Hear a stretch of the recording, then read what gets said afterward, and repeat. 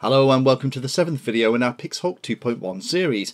So, so far we have taken the Pixhawk, we talked about it, talked about why it's a little bit different, then we have flashed it with Arduplane 3.8, popped it into the plane, we're using a V-tailed mini Talon here, and then we've gone out and we've done our first test flight.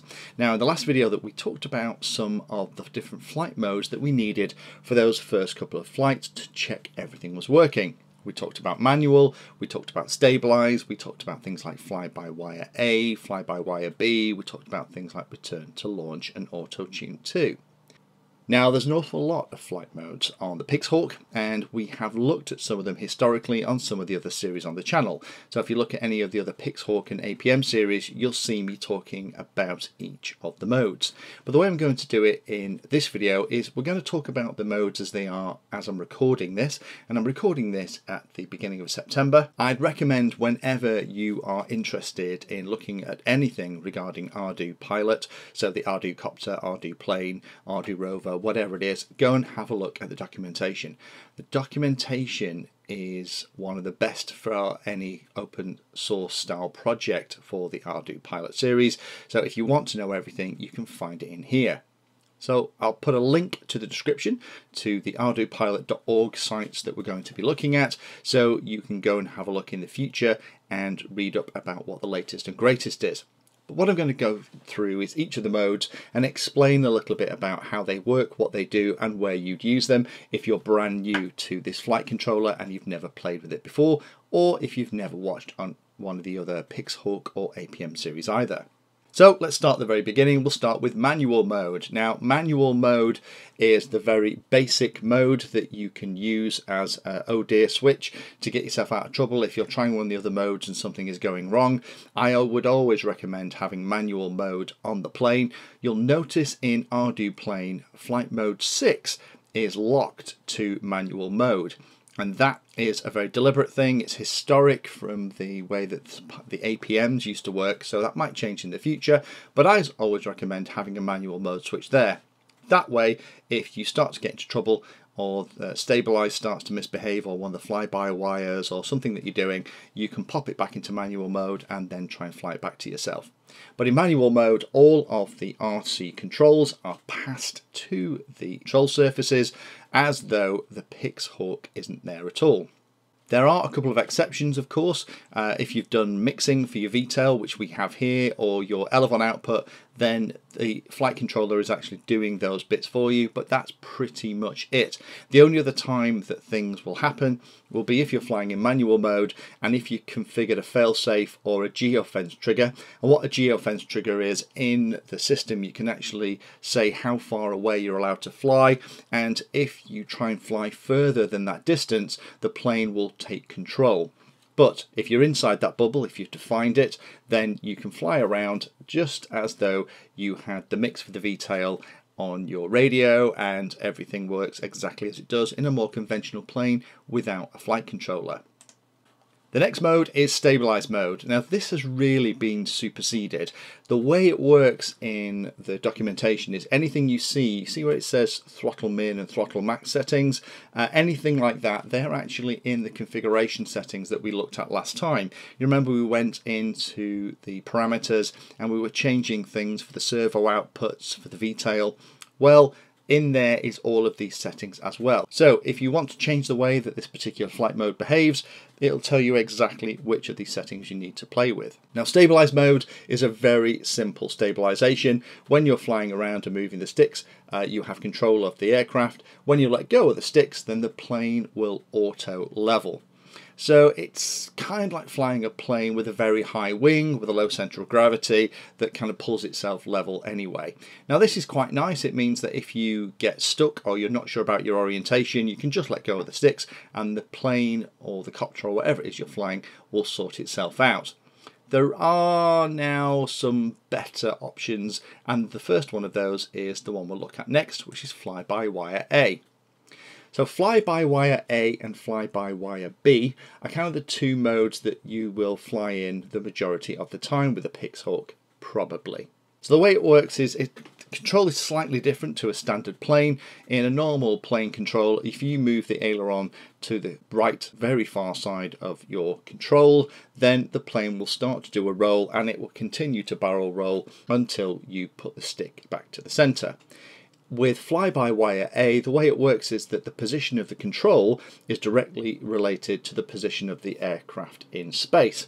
And the maximum roll and pitch that you can affect with the elevator and the aileron control are actually set by those lim underscore roll underscore CD options, all that red stuff in the first paragraph. The nice thing with this is that it isn't possible to roll the plane past the roll limit that you specify. So if you're flying FPV and you get a little bit carried away with yourself, uh, you won't be able to accidentally get yourself into a situation where you're flying upside down. Now the thing with fly-by-wire A, it doesn't take account of anything like airspeed or throttle or any of that stuff, and it doesn't also manage its height. It's just about the roll and the pitch controls, and it's limiting how far they move, and also directly relating to the amount of pitch and roll to the position of the elevator and aileron control on your radio. The rudder is in manual control as well, so you are still doing everything with the rudder and you're still doing everything with the throttle. So fly-by-wire B is a slightly more sophisticated version of fly-by-wire A. It does a couple of more things. It will try and hold the altitude as well. And as it mentions in here, again, we've got all these little red pieces of text showing you the things that you can change in the parameters if you want to alter the way that this flight mode uh, behaves. Personally, I would agree with this. I think the FBWB climb underscore rate that's just below the middle of the screen in the second paragraph. It talks about increasing that because the default is 2 meters per second. It's quite a slow change. If you have a decently powered model, that's going to feel quite sluggish, so you can increase that so that you can climb a little bit harder. I would say that fly by wire A and fly by wire B um, are handy modes to have. I quite like fly by wire A to be honest. It uh, is more like the stabilize uh, mode that's in some other flight controllers like iNav. Then we have auto tune mode. Uh, we've talked a little bit about auto tune in the previous video. That is one where you can fly the plane, you do uh, 20 flicks or rolls, ideally more than 20. I'd recommend you do 25 or 30. You do flicks, uh, maximum deflection right, maximum deflection left, and then nose up and nose down and every 10 seconds what it's doing it is saving the new parameters it's not as good as a manual tune but it will get you lots better than the default tuning that it will come with out of the box Next mode is training mode, ideal for teaching students. Uh, it really gives the users complete control over the rudder and the throttle, very similar to fly-by-wire A, but again clips the maximum roll and maximum minimum pitch to certain limits which uh, you can't exceed. So it's doing a little bit more in training mode about trying to maintain the speed of the plane so that you don't get into a situation where you get into stalls and then have those kind of problems to deal with. Acro mode, it's really for acrobatics, it's more for advanced users, but if you're a pilot that wants to be able to have all the safety of a Pixhawk, but you still want to be able to do acrobatics, then this is the mode that you want to be setting things into. You can set in the software the parameter of how quickly the model will roll and also pitch up as well. So those are settings, uh, but this is one I think that unless you are uh, an acrobatic pilot and you just want the Pixhawk for recovery or uh, peace of mind, you're probably not going to use acro mode very much. Cruise mode is a little bit interesting. It's kind of a super version of fly-by-wire B. If you remember, fly-by-wire B was limiting the maximum deflection, both pitch and roll, and the elevator was also acting as kind of a, a height control rather than a standard elevator. But cruise mode is a little bit clever. So if you were flying FPV and you had the plane sighted to fly over the top of a steeple on a church and you put it into cruise mode, then not only would you get all the benefits of fly-by-wire B, but cruise mode would also try and make sure that it was tracking to that object in the distance, even if the wind and other things were affecting it and it was getting pushed around. Auto mode, this is the mode that you use if you want to fly missions. Now in Mission Planner, and we'll talk about this in a future video, you can create a mission of a number of points and the mission planning with Arduplane and Arducopter, well all of the Ardu family actually is fantastic. It's very mature, you can do very simple things like put different points on a map and you can specify the height for each of those points and then to get the model to fly or drive that particular mission. You load the mission into memory and then once you're in the air you flick auto mode and away you go. But there are some extra things as well that we'll talk about when we look at the missions planning stuff. You have things like points of interest where you can set a specific thing that you want to look at and then if you're running a quadcopter with a Pixhawk then it will circle that point of interest at the predetermined radius and it will keep the nose of the craft looking at that point of interest. So if you wanted to take a 360 degree view of a ruined castle then you can put your point of interest over the top of the ruined castle, set your distance, I don't know, 50, 60 meters or whatever it is that you need to do, and then set it to fly around and it will naturally work to prescribe a 50 or 60 foot meter radius around that particular item. So auto mode is what you need to select in order to run the mission that you've uploaded into the Pixhawk and this is one of the really cool things that you can do with Pixhawk which allows you to do aerial mapping, surveying and all that kind of cool stuff too. Return to launch mode is the oh dear one. We've already talked a lot about this so far in the series. When you arm the Pixhawk, it uses that location as the home location. So that's why it's always really important that you have a GPS lock before you arm your Pixhawk. And in the event of a problem, or if you put it into return to launch mode, it will then head back to that GPS set of coordinates that it was at when it was armed and if it's a plane it'll circle above unless you set up some other bits and pieces or if it's a multi-rotor it'll kind of get back to the position and then gently sink to the ground and turn itself off. Last couple of standard modes here then, we have loiter mode.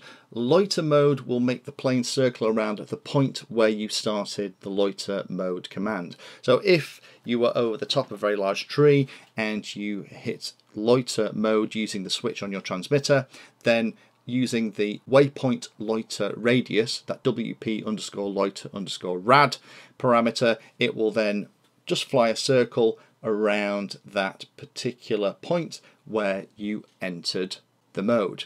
Now in a multi-rotor of course it just sits at that particular point, it just kind of sits in the air. With a plane it always has to be moving so what it does is it just flies in a circle around the point in the air where you flick the loiter mode on. Circle mode is similar to loiter, but it doesn't try and maintain position, so it will still fly around in a circle, but it will not try and maintain its position. So if the model is getting pushed by the wind down the field, it'll fly in a circle, but it'll gently get pushed by the wind and get further and further down the field.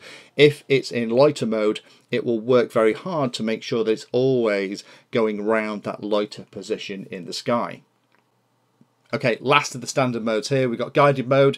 Guided mode is one where if you're using a ground station with Mission Planner and you have telemetry radios connected, so you're talking to the craft all the time, you can literally just click on a map position and it will fly to that position.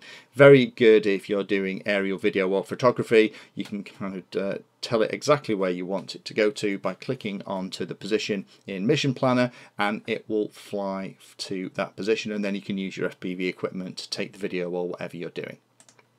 Last couple of modes are a bit specialized. These are really modes that you tend to use as part of a mission script. So again, we talked about having individual plot points as part of mission planning.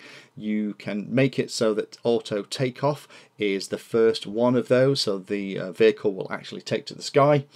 Taking off is a little bit more interesting with wheeled aircraft than it is with a multi-rotor and I'm hoping we'll be able to get that feature in the series and talk a little bit about it because both takeoff mode and the next one which is land mode with a fixed wing model require a little bit of work and also really need some other technology on the vehicle as well things that will measure altitude very well so your kind of radar or your sonar or your LiDAR type of sensors to figure out exactly how high the craft is above the landing strip.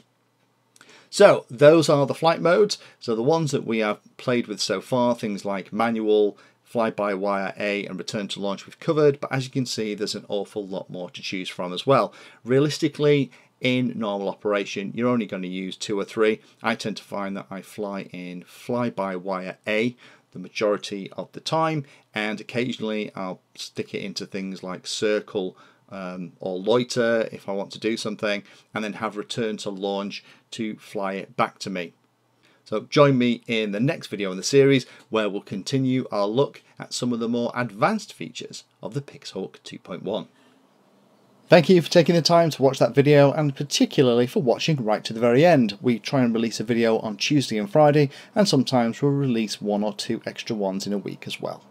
All of the videos on the channel are organised into easy to use playlists, so do have a look in there because if you're interested in a subject, we organise all the videos on that subject so you can find them easily all together in one place. If you like what we're doing, then please like and subscribe and tell others about the channel so they can come and join as well. We're available in all of the usual social media places, particularly in places like Instagram, Twitter, and we also share all of our 3D designs on Thingiverse.